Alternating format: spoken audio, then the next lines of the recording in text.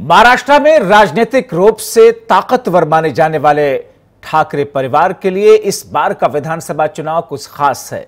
50 वर्षों में पहली बार ऐसा हो रहा है जब ठाकरे परिवार का कोई भी सदस्य विधानसभा का चुनाव लड़ रहा है। आखिर क्यों? आखिर क्यों उद्धव ठाकरे के बेटे को चुनाव लड़ना पड़ा? आदित्य ठाकरे ने आज पर्चा भरा तो कैसे ताकत दिखाई? आइए देखते हैं, समझते हैं इस रिपोर्ट के ज़रिए।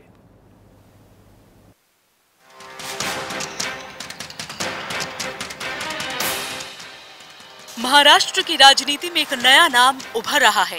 और ये कोई और नहीं, बल्कि उनतीस साल का वो युवा जिसे शिवसेना के भविष्य के रूप में देखा जा रहा है।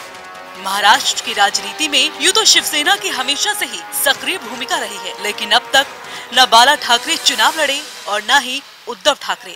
लेकिन अब आदित्य ठाकरे इस बार के महाराष्ट्र चुनाव से असल में अपने राजनीतिक करियर की शुरुआत कर रहे हैं। जहाँ पार्टी ने उन्हें बरली सीट से मैदान में उतारा है।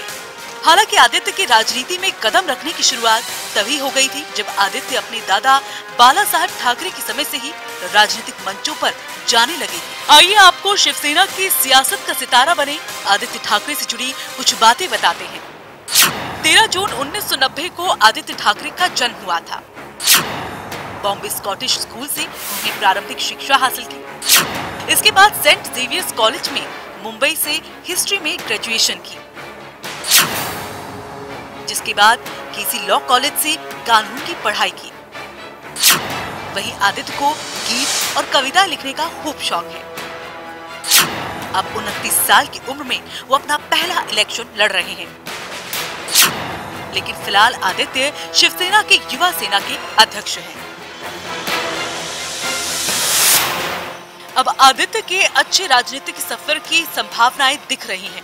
वहीं बेटे को चुनावी मैदान में उतारना उद्धव ठाकरे का सपना तो है ही, लेकिन शिवसेना का मुख्यमंत्री बनवाकर वो अपने पिता की इच्छा को भी पूरा करना चाहते हैं